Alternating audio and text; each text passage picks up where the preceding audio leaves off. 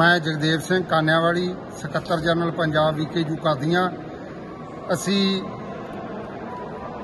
ਚੋਣ ਕਰਵਾਉਣ ਵਾਸਤੇ ਸਾਰੇ ਜ਼ਿਲ੍ਹਿਆਂ ਨੂੰ ਤਰੀਕਾਂ ਦਿੱਤੀਆਂ ਹੋਈਆਂ ਸਨ, ਜਿਸ ਦੇ ਤਹਿਤ ਅੱਜ ਤਰਨਤਾਰਨ ਜ਼ਿਲ੍ਹੇ ਦੀ ਚੋਣ ਹੋਈ ਹੈ। ਜ਼ਿਲ੍ਹਾ ਕਮੇਟੀ ਚੁਣੀ ਗਈ ਹੈ, ਬਲਾਕ ਪ੍ਰਧਾਨ ਚੁਣੇ ਗਏ ਹੈ। ਸਾਰਿਆਂ ਨੂੰ ਵਧਾਈ ਦਿੰਦੇ ਆ ਵੀ ਆਪਦੀ ਜਿਹੜੀ ਸੇਵਾ ਉਹ ਨਿਰਸਵਾਰਥ ਤੇ ਆਪਦੇ ਲੋਕਾਂ ਦੇ ਕਿਸਾਨੀ ਹੱਕਾਂ ਦੇ ਲੜਨ ਲਈ ਤਰਜੀਹ ਦੇਣ ਇਮਾਨਦਾਰੀ ਨਾਲ ਕੰਮ ਕਰਨ ਇਹ ਚੋਣ ਦੇ ਵਿੱਚ ਅਸੀਂ ਪ੍ਰਧਾਨ ਜਾਂ ਖਜ਼ਾਨਚੀ ਜਾਂ ਜਨਰਲ ਸਕੱਤਰ ਨਹੀਂ ਕਹਿੰਦੇ ਅਸੀਂ ਇਹਦੇ ਇਹ ਜ਼ਿੰਮੇਵਾਰੀਆਂ ਜਿਨ੍ਹਾਂ ਨੂੰ ਤਨਦੇਹੀ ਨਾਲ ਨਿਭਾਇਆ ਜਾਵੇ ਤੇ ਕਿਸਾਨਾਂ ਦੀਆਂ ਮੰਗਾਂ ਨੂੰ ਆਵਾਜ਼ ਉਠਾਈ ਜਾਵੇ ਜਿਸ ਤੇ ਪੂਰੇ ਪੰਜਾਬ ਦੇ ਵਿੱਚੋਂ ਕਿਸਾਨ ਇਸ ਦਾ ਸਾਥ ਦੇਣ। ਤਰਨਤਾਰਨ ਜ਼ਿਲ੍ਹੇ ਤੋਂ ਅੱਜ ਕਿਹੜੇ ਪ੍ਰਧਾਨ ਚੁਣਿਆ ਗਿਆ ਜੀ? ਸਾਹਿਬ ਸਿੰਘ ਡੱਲ ਦੁਬਾਰਾ 5 ਸਾਲਾਂ ਲਈ ਵੀਕੇਜੂ ਕਾਦੀਆਂ ਦੇ ਜ਼ਿਲ੍ਹਾ ਪ੍ਰਧਾਨ ਤਰਨਤਾਰਨ ਦੇ ਚੁਣੇ ਗਏ ਨੇ।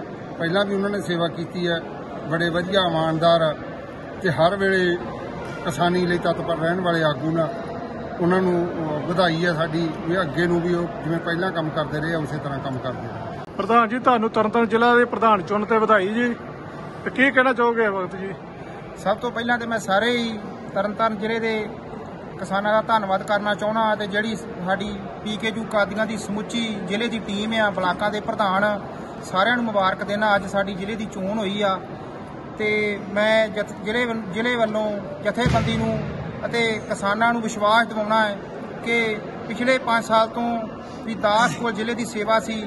ਇੱਕ ਵਾਰ ਫੇਰ ਤੋਂ ਦਾਸ ਨੂੰ ਜ਼ਿਲ੍ਹੇ ਦੀ ਸੇਵਾ ਜਥੇਬੰਦੀ ਵੱਲੋਂ ਅਤੇ ਜ਼ਿਲ੍ਹੇ ਦੇ ਦਰਜਾ ਬਦਰਜਾ ਕਿਸਾਨਾਂ ਵੱਲੋਂ ਦਿੱਤੀ ਗਈ ਆ। ਮੈਂ ਵਿਸ਼ਵਾਸ ਦਿਵਾਉਣਾ, ਮੈਂ ਇਸ ਸੇਵਾ ਨੂੰ ਤਨਦੇਹੀ ਨਾਲ ਨਿਭਾਵਾਂਗਾ ਅਤੇ ਸਮੇਂ-ਸਮੇਂ ਤੇ ਜਿੱਥੇ ਵੀ ਜ਼ਿਲ੍ਹਾ ਪੱਧਰ ਤੇ, ਸੂਬਾ ਪੱਧਰ ਤੇ ਜਾਂ ਸੰਯੁਕਤ ਮੋਰਚੇ ਵੱਲੋਂ ਸਾਨੂੰ ਜਿੱਥੇ ਵੀ ਸਾਡੀ ਡਿਊਟੀ ਲੱਗੂਗੀ, ਮੈਂ ਭਾਰਤੀ ਕਿਸਾਨ ਯੂਨੀਅਨ ਕਾਦੀਆਂ ਵੱਲੋਂ ਹਰ ਐਜੀਟੇਸ਼ਨ ਦੇ ਵਿੱਚ ਜ਼ਿਲ੍ਹੇ ਵੱਲੋਂ ਆਪਣੀ ਟੀਮ ਨੂੰ ਨਾਲ ਲੈ ਕੇ ਹਰ ਥਾਂ ਜਿਹੜਾ ਵਾ ਉਹ ਹਾਜ਼ਰ ਹੋਵਾਂਗਾ ਅਤੇ ਮੈਂ ਇੱਕ ਵਾਰ ਫੇਰ ਤੋਂ ਸਾਰੇ ਕਿਸਾਨ ਭਰਾਵਾਂ ਦਾ ਅਤੇ ਸੂਬਾ ਕਮੇਟੀ ਦਾ ਧੰਨਵਾਦ ਕਰਨਾ।